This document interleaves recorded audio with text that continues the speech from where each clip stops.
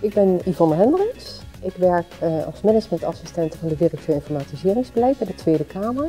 De Tweede Kamer is een politiek bedrijf, maar achter het politieke bedrijf zit ook nog een ambtelijke organisatie.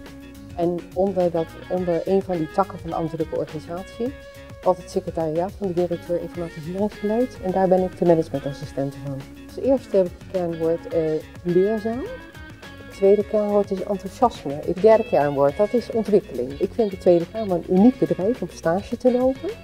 En ik vind ook dat je je verder kan ontwikkelen dan alleen managementassistent. Het is altijd zo fijn om ons politiek ook mee te nemen. En dat geef ik ze dan ook altijd wel mee. Van, maar ik ga ook met ze naar het vragenuurtje toe, naar de stemmingen. Dat ze ook een beetje weten hoe de politiek in elkaar steekt. En dat is eigenlijk waarom ik vind dat dit bedrijf, eh, het leerbedrijf eh, 2014 moet worden.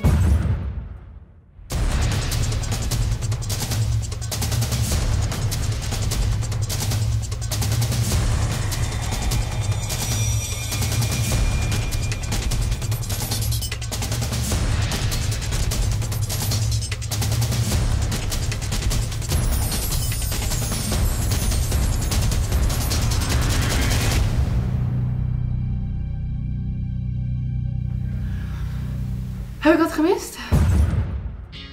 Ik sta hier naast Jennifer en Jennifer is van, wie kent het niet, de McDonald's. Jennifer, kan je mij, iedereen kent het al eigenlijk, maar toch in één zin uitleggen wat de McDonald's precies doet? Nou, McDonald's is een mensenbedrijf die hamburgers bakt en verkoopt en die veel waarde hecht aan uh, ontwikkeling. En zou jij mij twee woorden kunnen geven die het best omschrijft waarom de samenwerking met McDonald's en de stagiaires zo bijzonder is? Uh, het biedt uh, perspectief en uh, teamwerk.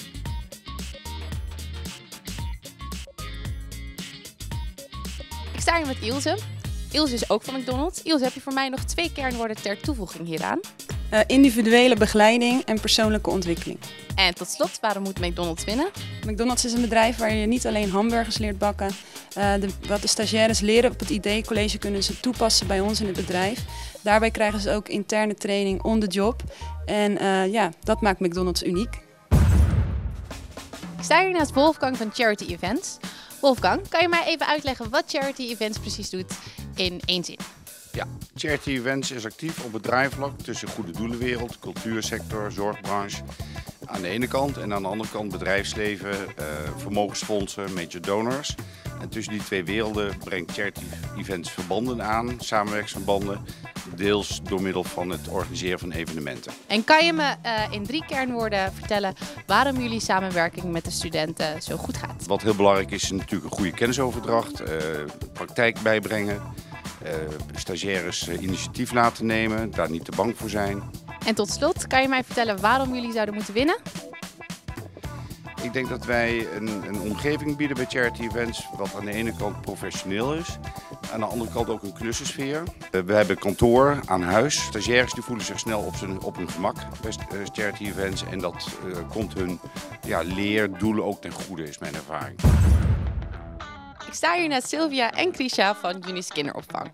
Kunnen jullie mij in het kort even vertellen wat Unis Kinderopvang precies doet? Nou, Unis Kinderopvang is een organisatie die al ruim 30 jaar bestaat. En voornamelijk in Alphen aan de Rijn omgeving. En we bieden opvang van kinderen van 0 tot 13 jaar in alle verschillende opvangvormen. En hebben jullie voor mij drie kernwoorden die de samenwerking het best beschrijft met de stagiaires? Ja, uh, dat is bevlogen, verfrissend en transparant.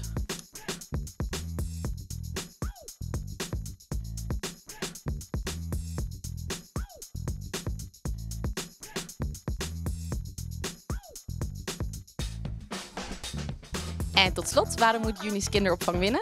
Uh, nou, Unis vindt het heel belangrijk om in de toekomst te blijven investeren in uh, toekomstige pedagogisch medewerker.